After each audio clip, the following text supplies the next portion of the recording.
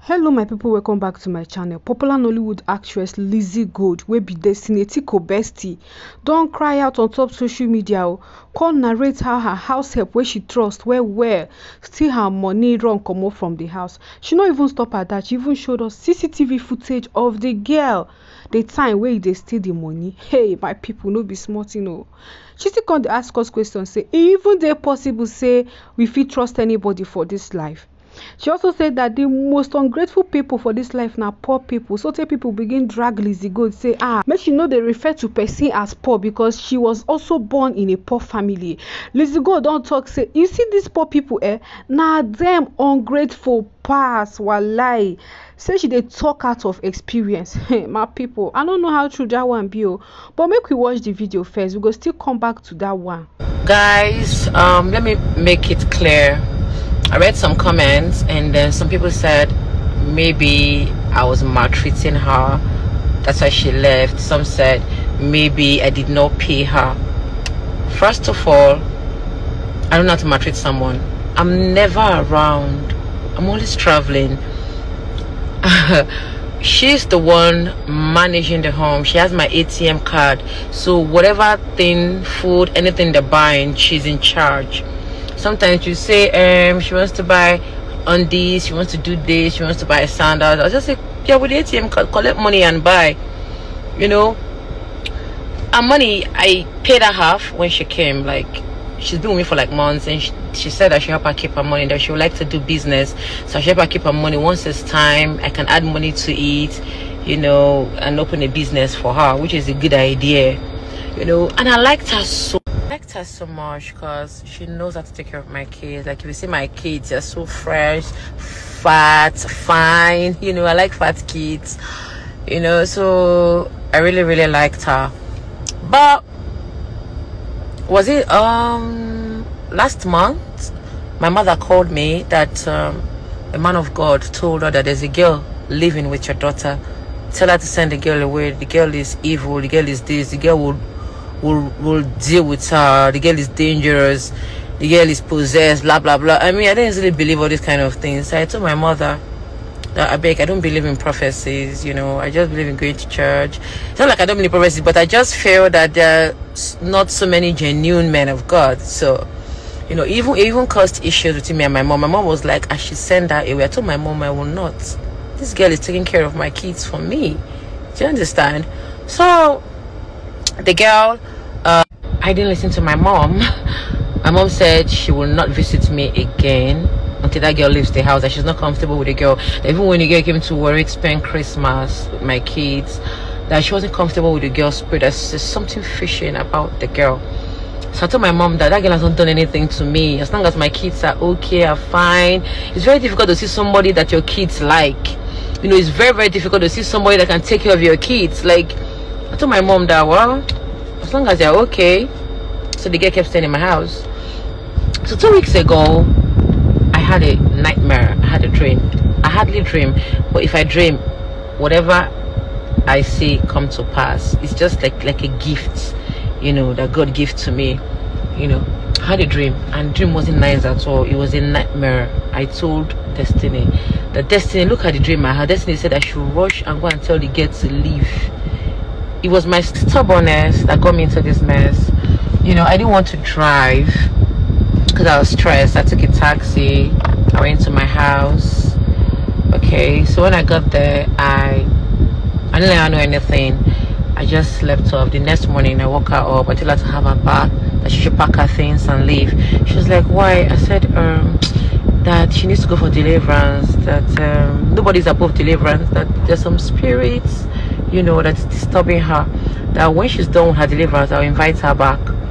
She was like okay no problem. So um she, she went i put her in a car she went to Aba when she went to Aba I, I went back to asaba to continue my work. After my production i came back to enugu. When i got to enugu you know the house wasn't looking too well taken care of you know it's it's a duplex so it wasn't looking too nice and i guess the stress you know and i guess the stress was too much for for the other girl because that one is quite younger so I said, let me just call success back. Maybe when I see somebody else, I'll tell her to go. So I called success. That's how much I liked her. I told her that, don't worry, come. You can do the deliverance in my house. All right. No, God is everywhere. So success came back after a week. So when success came, she started staying. After like four days, she told me that she wants to go to Aba. That was three days ago. I'm like, why? You don't want to stay anymore? She said um, that she wants to go. And I said, okay, that there's nothing, there's no food. Why not go to the market and buy things, you know? Then you can leave the next day. She said, no problem.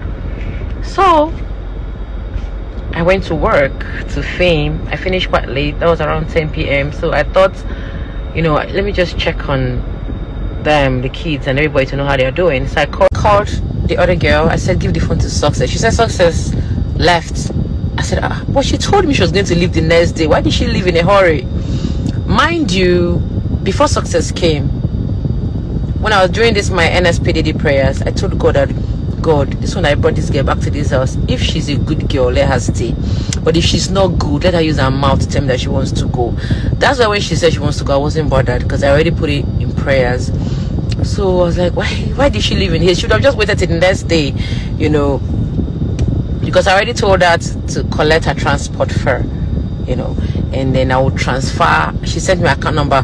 All the money she has worked, I will transfer the money into her account. So when I got to the house, entered my room, I noticed that my the drawer was scattered, clothes were on the ground. The next thing my mind went to my money. I went straight to that place to check. That's how my money was gone. I didn't see my 1,000 euro. The only I found out that she had collected my money. I left just 30 euro. That's what she left. Mind you, she told me to keep her money because she doesn't even have use for money. She doesn't my ATM card. If she wants to buy anything, she takes money from the card.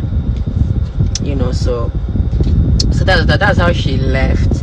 And the footage of the of when she's collecting the money i'm going to post it on my story all right so i saw everything. She, she can't even deny but like i said i put people on the case but if they are not able to get her i won't stress myself.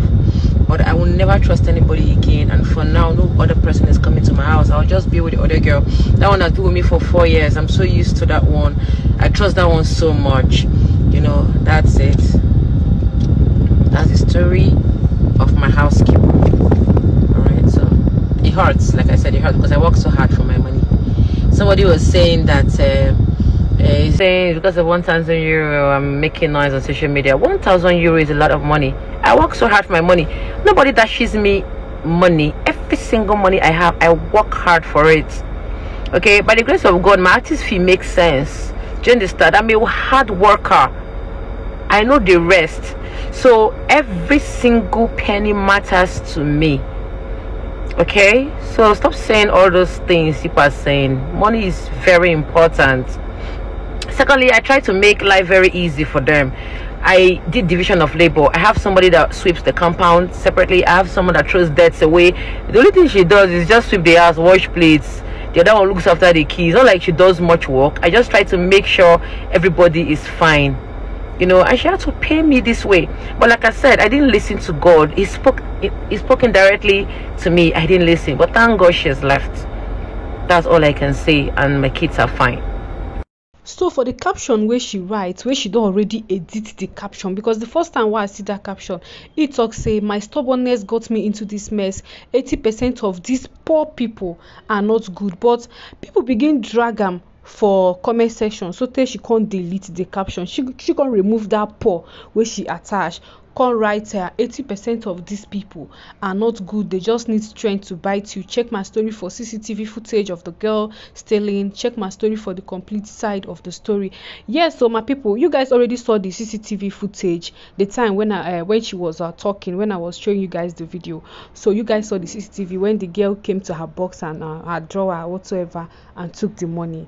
So my people this is so sad. Onto reactions about her calling people poor. Someone said this your caption is all shades of wrong. Poor people rich auntie well done. Next person said is the poor people for me? Because you are living okay. You feel you have right to describe people as poor. God help you lizzie. Someone responded ask her if she was born rich. Please i want to know. Next person said madam call out the girl. That your caption is not good. Poor people are human beings too. Get her arrested and post her picture everywhere. Next person say 1000 euro is small money. Eh you talk say 1000 euro na small money 1000 euro na 800 and something thousand oh that thing na small money 800 and something thousand na small money to you. Hmm. no be small thing o. But people need to be careful the way they bring all this house help. They can buy someone somebody too. My people this person wey dey talk say 1000 euro na small money. Ah no be small money o. 1000 euro na 800 and something thousand naira. Na wetin e be. So to me no be small money be that especially when you work so hard to uh, make your money. If you work hard to earn money you even value something as little as penny you go value am because say na your sweat be that. My own be say thank god say the the house help no do anything to the children. E no harm the children. According to her she took proper care of the children. So na that one be my own sha if she was able to trace her fine. If she no trace her make she just endure the money. As long as say her children dey very very okay they are sound and safe. That's the most important thing. Make una like and share this video. Click on the red subscribe button below to join us. Click on the bell beside it to always get my notification whenever i upload any latest update on this channel. Thank you so much for watching. I will see you guys on my next video